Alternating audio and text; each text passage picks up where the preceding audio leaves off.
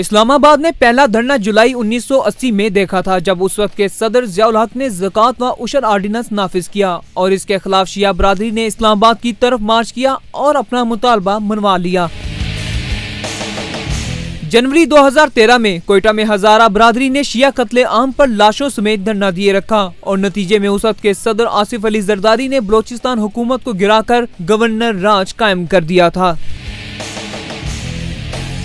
دو ہزار تیرہ میں ہی پاکستان عوامی تحریک نے اسلام آباد جنا ایونیو پر چار روز تک دھرنا دیے رکھا، جو حکومت کے ساتھ مذاکرات کے بعد اختتام پذیر ہو گیا۔